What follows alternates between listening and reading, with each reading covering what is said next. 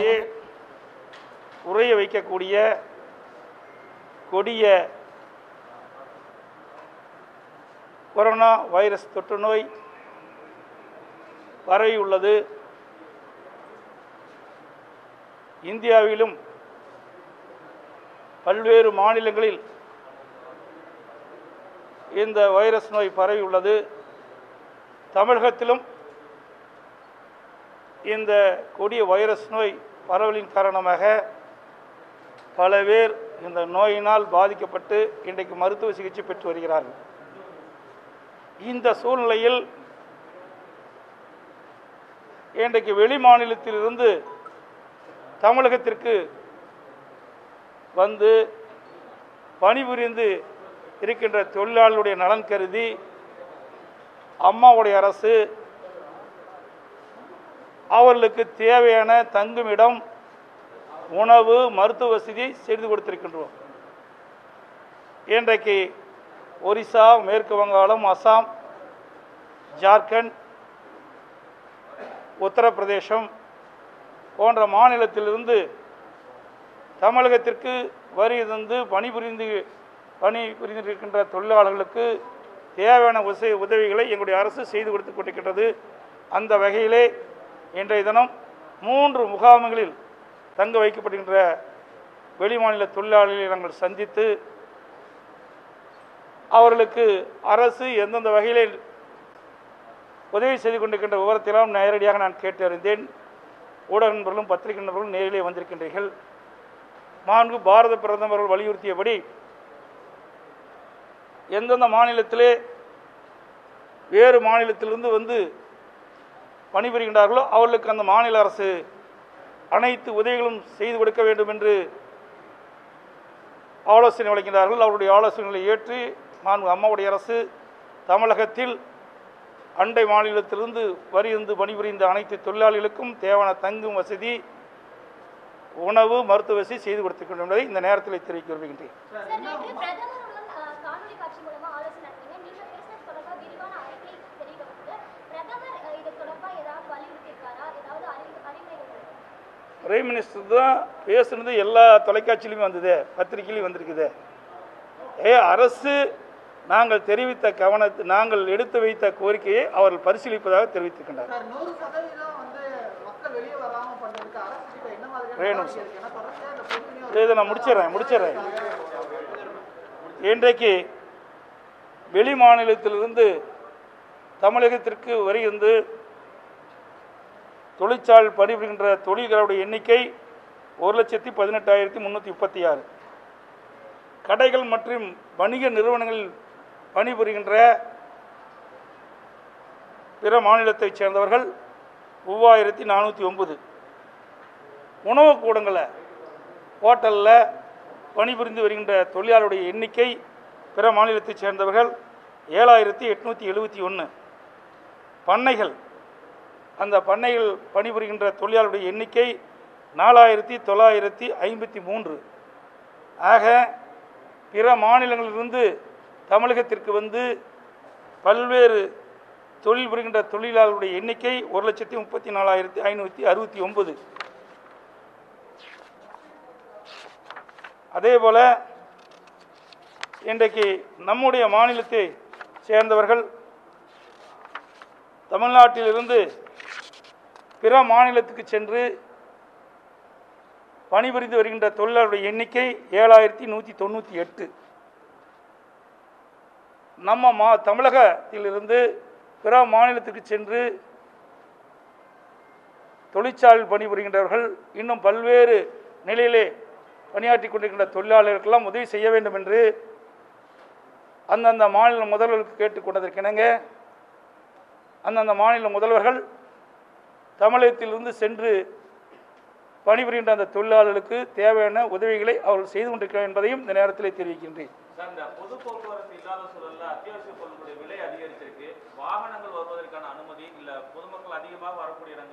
அத்தியாவசிய பொருள் கொண்டு வருவதற்கு எந்த தடையும் இல்லை. அது ஏற்கனவே தெளிவாக ஊடகத்தின் வாயிலாக பத்திரிகையின் வாயிலாக தெளிவுபடுத்தி விட்டது இது நமக்கு பல்வேறு மளிகை பொருட்கள் வேறு மாநிலத்திலிருந்து வர வேண்டிய சூழ்நிலை இருக்கின்றது. பல மாநிலத்தில் பல்வேறு கட்டுப்பாடுகளை வைத்திருக்கின்றார்கள். அது மட்டும் இல்லாமல் இந்த அத்தியாவசிய பொருள் கொண்டு வருகின்ற வாகனங்கள் லாரிகள் அதிகமாக இயக்கப்படவில்லை. அதனால் இந்த நெருக்கடி ஏற்பட்டுகின்றது இருந்தாலும் மாண்பு பாரத பிரதமர் அவர்கள் இந்த அத்தியாவசிய பொருள் கொண்டு செல்வதற்கு எந்த மாநிலமும் தடை செய்யக்கூடாது என்று அறிவுறுத்திருக்கின்றார்கள் அதன் அடிப்படையிலே இனி அது சரி செய்யப்பட்டுவிடும் என்பதை தெரிவித்துக் கொள்கிறேன். நூறு சதவீதம் நூறு சதவீதம் வந்து நம்ம வந்து இந்த அஹ், ஊரடங்கை கேட்டுட்டு இருக்கோம் ஆனா இருந்தாலும் மக்கள் அத்தியாவசியத்துக்காக வெளியே வந்துட்டே இருக்காங்க. அரசு போதுமான நடவடிக்கைகள் இது இருக்கா இல்ல இன்னும் தேவையாக இருக்கிறது? அது ஊடக நண்பர்களும் பத்திரிகை நண்பர்களும் தான் சொல்ல வேணும். நாங்கள் எல்லா ஆரம்ப காலத்திலிருந்து இந்த தடை உத்துவதற்கு போடுவதற்கு காரணமே ஒருவருக்கு ஒருவர் டிஸ்டன்ஸை மெயின்டைன் பண்ணணும். சமூக இடைவெளியை கடைபிடிக்க வேண்டும். சோசியல் டிஸ்டன்சிங் மெயின்டைன் பண்ண வேண்டும். இது ஒரு மிக கொடிய தொற்று நோய். இந்த தொற்று நோய் எந்தெந்த நாட்டில் எவ்வாறு பரவுகிறது என்பது அனைத்து தொலைக்காட்சியிலும் நீங்கள் தினந்தோறும் காண்பித்துக் கொண்டிருக்கின்றீர்கள் மக்களும் பார்த்து கொண்டிருக்கின்றார்கள். ஆனால் இந்த நோயுடைய வீரியத்தை புரியாமல் தெரிந்து கொள்ளாமல் சில பேர் விளையாட்டுத்தனமாக வெளியிலே இன்றைக்கு இருசக்கர வாகனத்தின் மூலமாகவும் பல பேர் கார்கள் மூலமாகவும் பொழுதை கழித்து வருகிறார்கள். இந்த ஊடகத்தின் வாயிலாக பத்திரிகையின் வாயிலாக அரசு கேட்டுக்கொள்வதெல்லாம் இந்த நோயினுடைய தாக்கம். எந்த அளவுக்கு இருக்கிறது என்பதை உணர வேண்டும். இந்த நோய் அவர்களுக்கு உடலிலே வந்துவிட்டால் இதை குணமாவதற்கு எந்த மருத்துவம் இதுவரை மருந்தும் கிடையாது என்று மருத்துவர்கள் தெரிவிக்கின்றார்கள். இன்றைக்கு உலகெங்கும் உலுக்கி கொண்டிருக்கின்ற இந்த வைரஸ் நோய் கட்டுப்படுத்துவதற்கு பரவாமல் இருப்பதற்கு அரசு எடுக்கின்ற நடவடிக்கைக்கு பொதுமக்கள் முது முழு ஒத்துழைப்பை நல்க வேண்டும். அதைத்தான் நாங்கள் தொடர்ந்து வலியுறுத்தி கேட்டுக்கொண்டிருக்கின்றோம் ஊடகமும் பத்திரிகையும் இதை தெளிவாக எடுத்துரைத்துக் கொண்டிருக்கின்றீர்கள். ஆனாலும் சில பேர் இது பொருட்படுத்தவில்லை. இன்றைக்கு மத்திய உள்துறை அமைச்சகம் இந்த நூற்றி நாற்பத்தி நாலு தடை உத்தரவை மீறிகள் மீது கடுமையான நடவடிக்கை எடுக்க வேண்டும் என்று அறிவுறுத்தப்பட்டுகின்றது நாங்களும் பொறுமையாக இருந்தோம்.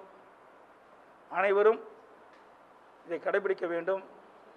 நூற்றி நாற்பத்தி நாலு தடை உத்தரவு என்பது மக்களை துன்புறுத்துவதற்காகவோ அல்லது அத்தியாவசிய வேலைகளுக்காக தடை செய்வது போடுகின்ற சட்டம் அல்ல. ஏ அனைவரும் பாதுகாப்பாக இருக்க வேண்டும் என்பதற்காக போடப்பட்ட சட்டம் நூற்றி நாற்பத்தி நாலு தடை உத்தரவு. அதை மனதில் வைத்துக்கொண்டு நம்முடைய தமிழ்நாட்டு மக்கள் அரசுக்கு முழு ஒத்துழைப்பு நல்க வேண்டும். இன்றைக்கு ஒவ்வொரு குடும்பம் அரசுக்கு முக்கியம். ஒவ்வொரு உயிரையும் காக்க வேண்டிய கடமை அரசுக்கு இருக்கின்றது. அதன் அடிப்படையில் தான் இதை நாங்கள் தொடர்ந்து வலியுறுத்தி வருகிறோம். சுகாதாரத்துறையும் வலியுறுத்தி வருகிறது. காவல்துறையும் வலியுறுத்தி வருகிறது. உள்ளாட்சித்துறையும் ஆங்காங்கே ஒளிபெருக்கின் மூலமாக மக்களுக்கு இந்த நோயினுடைய தாக்கத்தை பற்றி எடுத்துச் சொல்லிக் கொண்டிருக்கின்றது. வருவாய்த்துறையும் எடுத்துரைத்துக் கொண்டிருக்கின்றது. ஆகவே அனைத்து துறைகளுடைய நோக்கம் இந்த நோய் பராமல் தடுக்க வேண்டும். அதற்கு பொதுமக்கள் ஒத்துழைப்பு நல்க வேண்டும் என்ற விழிப்புணர்வை தொடர்ந்து ஏற்படுத்திக் கொண்டிருக்கின்றோம். ஆகவே தமிழக மக்கள் அரசு எடுக்கின்ற நடவடிக்கைக்கு இந்த தொற்று நோய் மேலும் பரவாமல் தடுக்க அனைவரும் தங்கள் வீட்டிலேயே தனிமைப்படுத்திக் கொள்ள வேண்டுமாய் அன்போடு இந்த நேரத்தில் கேட்டுக்கொள்கின்றேன். தற்போது கிடைத்த செய்தி மணி நேரம் முழு அஹ், ஊரடங்கு உத்தரவு வந்து ஒடிசா மாநிலத்தில் போட்டிருக்காங்க இங்க இருக்கக்கூடிய மக்கள் வந்து போதுமான அளவுக்கு தமிழக அரசு நன்றாக செய்து என்று பாராட்டு கொடுத்திருக்காங்க மற்ற மாநில முதல்வர்கள் குறிப்பாக ஒடிசா முதல்வர்கள் அவர்களுக்கு என்ன நம்பிக்கை செய்தி நீங்க கொடுக்குறீங்க? மற்ற மாநில முதல்வர்கள். அதாவது நீங்களே சொல்கிறீங்க அத்தியாவசிய பொருள் கிடைக்கல லாரி விடணும்னு சொல்கிறீங்க இந்த லாரி விட்டால் அதை பொருளை இறக்க வேணும் அவர்களை அனுமதிக்க வேணும் அப்புறம் டிரைவர் ஓட்டுநரை அனுமதிக்க வேணும் வாகனத்தை அனுமதிக்க வேணும் அத்தியாவசிய பொருள் வாங்குவதற்கு பொதுமக்களை அனுமதிக்க வேண்டும். இப்படி எல்லா தேவைகளையும் மக்களுக்கு செய்து கொடுக்க வேண்டியது அரசினுடைய கடமை. மக்கள் இதை சரியான முறையில் பயன்படுத்திக் கொள்ள வேண்டும். அத்தியாவசிய பொருட்கள் வாங்க வேண்டும் என்பதற்காக தினந்தோறும் கடைக்கு செல்லக்கூடாது. காய்கறி மார்க்கெட்டுக்கு செல்ல வேண்டும் என்று சொன்னால் ஒரு வாரத்திற்கு தேவையான காய்கறிகளை வாங்கி கொண்டு வீட்டிலே வைத்துக் கொள்ள வேண்டும். மளிகை சாமான்கள் வீட்டுக்கு வாங்க வேண்டும் என்று சொன்னால் ஒரு வாரத்திற்கு தேவையான மளிகை சாமான்களை வாங்கி கொண்டு வீட்டிலே வைத்து கொண்டால் தினந்தோறும் வெளியிலே வர வேண்டிய அவசியம் இல்லை. ஆனால் அது மக்கள் தான் கடைபிடிக்க வேண்டும். அரசாங்கத்தை பொறுத்த வரைக்கும் ஊடகத்தின் வாயிலாக பத்திரிகையின் வாயிலாக தொடர்ந்து வலியுறுத்தி கொண்டிருக்கின்றோம். நீங்களும் வலியுறுத்தி கொண்டிருக்கின்றீர்கள். இதை கடைபிடிப்பது மக்களுடைய கடமை. அது மட்டுமல்ல இன்றைய தினம் எவ்வளவு சொன்னாலும் சில பேர் கேட்பது கிடையாது. ஆனால் இனிமேல் சட்டம் தன் கடமையை செய்ய வேண்டும் பொதுமக்களுக்கு எவ்வளவு தூரம் அரசு ஒத்துழைப்பு கொடுக்கணுமோ அந்த அளவுக்கு ஒத்துழைப்பு கொடுத்தது. பொதுமக்கள் அந்த ஒத்துழைப்பை சரியான முறையில் பயன்படுத்த தவறினால் அரசு வேறு வழி கிடையாது. நூற்றி நாற்பத்தி நாலு தடை உத்தரவை கடுமையாக்குவதை தவிர வேறு வழி கிடையாது என்பதை இந்த ஊடகத்தின் வாயிலாக பத்திரிகையின் வாயிலாக இருக்கிறாங்க.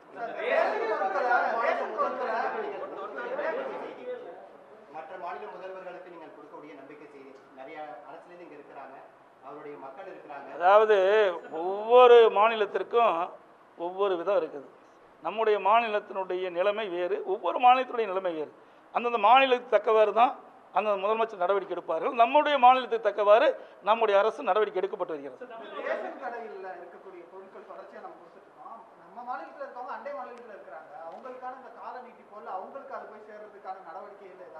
நாங்கள் ஏற்கனவே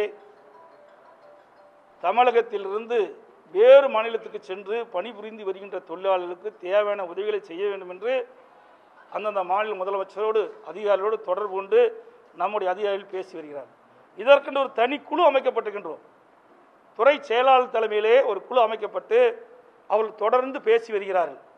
ஏதாவது நம்முடைய தொழிலாளர்கள் பிற மாநிலத்தில் பாதிக்கப்பட்டால் உடனடியாக அந்த மாநில அரசோடு பேசி அவர்களுக்கு தேவையான உதவிகளை வழங்கி கொண்டிருக்கின்றோம். அது இல்லை பிற மாநிலத்தில் வசிக்கின்ற பணிபுரிகின்ற நம்முடைய தொழிலாளர்களுக்கு அவர்கள் உதவி செய்கின்ற தொகையும் நாம் வழங்குவோம் என்று அறிவித்திருக்கின்றோம்.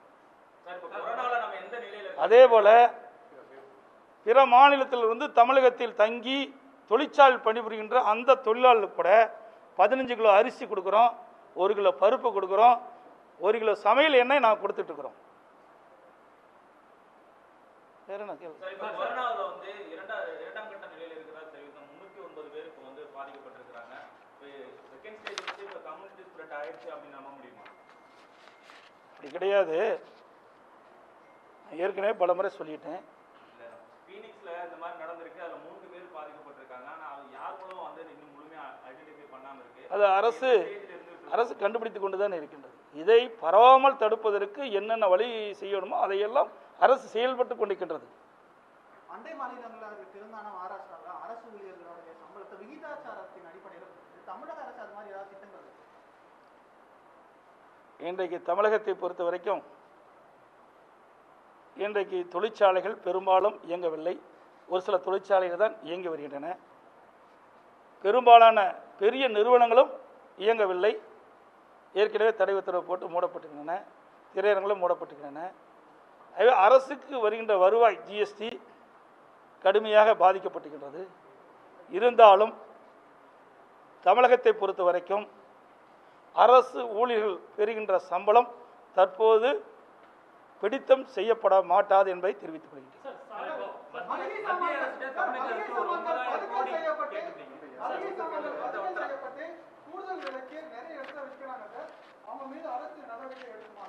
ஏற்கனவே நம்முடைய உயர் அதிகாரிகள் அந்த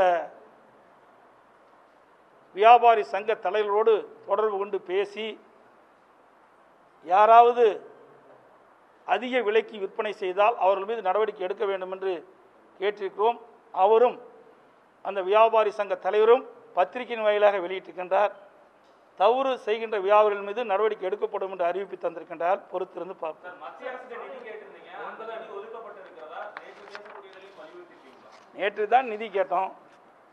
பிறகு தான் இனிமேல் தான் மத்திய அரசு பரிசீலித்து அதுக்கு உண்டான நடவடிக்கை எடுப்பார் என்று நம்புகிறோம் சார் சாலை ஓரத்தில் இருக்க அஹ், மாற்றுத்திறனாளிகள் இருக்காங்கல்ல அதாவது அஹ், வீடற்றவங்க இருக்காங்க அவங்களுக்கெல்லாம் நம்ம என்ன பண்ணுறோம் சாலை ஓரத்தில் மாற்றுத்திறனாளி அப்படி ஒன்றும் இல்லையே எங்க? ஏற்கனவே எங்களுடைய காவல்துறை அதிகாரிகளும் உள்ளாட்சித்துறை அதிகாரிகளும் ஆங்காங்கே இருக்கின்ற சாலை ஓரம் வசிக்கின்ற அந்த சாலை ஓர வாசிகளை அழைத்து வந்து தங்க வைத்து அவர்களுக்கு தேவையான உதவிகள் நாங்கள் செய்து கொடுத்து கொண்டிருக்கின்றதை இந்த நேரத்தில் தெரிவிக்க விரும்புகிறேன் காப்பகத்தில் தங்க வச்சு அவருக்கு தேவையான உதவிகளை செஞ்சுட்டு இருக்கிறோம். அது மட்டும் இல்லை இன்றைக்கு காவல்துறை இன்றைக்கு மாநிலம் முழுவதும் நூற்றி நாற்பத்தி நாலு தடை உத்தரவு பிறப்பிக்கப்பட்டுகின்றன.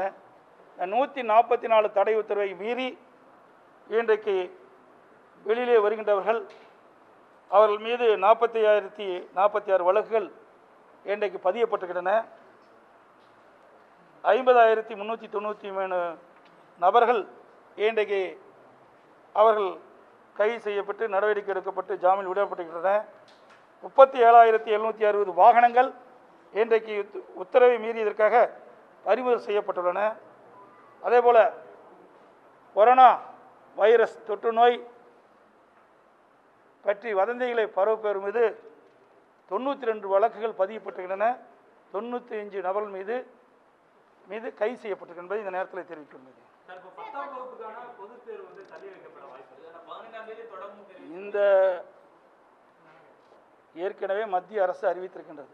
ஏப்ரல் பதினாலாம் தேதி வரை அறிவித்திருக்கிறது. பொறுத்திருந்து பார்ப்போம். சார் தூய்மை பணியாளர்கள் அம்மா உணவக ஊழியர்களுக்கு ஒரு சிறப்பு ஊதியம் கொடுக்கப்படுமா சார்? அவர்கள் ஏற்கனவே பணிபுரிந்த தொழில் தான் பணிபுரிச்சிட்டு இருக்காங்க. அவர்களுடைய பணி அங்கே இருக்கின்ற அம்மா உணவகத்திலே பணிபுரிகின்ற பணியாளர்கள் உணவு தயாரித்து வறியவர்களுக்கு உணவு வழங்குவது தான் பணி. அந்த பணி இப்போ செஞ்சிட்டு இருக்கிறாங்க. இக்கட்டான சொல்ல. அவர்களுக்கு வேலையே அதுதானே.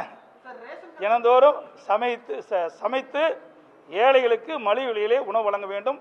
அந்த உத்தரவை பின்பற்றி அவர்கள் செயல்பட்டு கொண்டிருக்கின்றார்கள். அதோட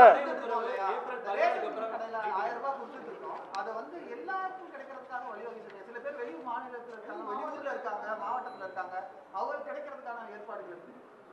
ரேஷன் கடையிலே வழங்கப்படுகின்ற உணவுப் பொருட்கள் விலையில்லாமல் நான் கொடுக்குறேன்னு ஏற்கனவே அறிவித்தேன் அதன்படி நேற்றைய தினத்திலிருந்து இந்த விலையில்லாமல் உணவுப் பொருட்களை வழங்கிட்டு அரிசி சர்க்கரை பருப்பு எண்ணெய் எல்லாம் கொடுத்துட்ருக்குறோம் யாராவது வெளியூர் சென்றிருந்தாலோ வாங்காமல் இருந்தாலோ இந்த மாத இறுதிக்குள் பெற்றுக்கொள்ளலாம் அது மட்டும் இல்லாமல் இன்றைக்கு இனிமேல் இந்த டோக்கன் கொடுக்கின்ற பொழுதே இப்பொழுது இந்த ஆயிரம் ரூபாய் கொடுக்க வேண்டும் என்று இன்றைக்கி அறிவித்துப்படுத்திக்கிட்டோம் ஏன்னா கூட்டம் வந்து அங்கங்கே வர்றாங்கன்னு சொல்லி பத்திரிகையில் ஊடகத்திலையும் வந்த செய்தியின் அடிப்படையில் எல்லா வீடுகளுக்குமே டோக்கன் கொடுக்க போகிறாங்க இந்த டோக்கன் கொடுக்கின்ற பொழுதே அவர்களுக்கு அந்த அரசு அறிவித்த அந்த ஆயிரம் ரூபாய் தொகை வழங்கப்படும் என்பதையும் இந்த நேரத்தில் தெரிவிக்கிறேன்.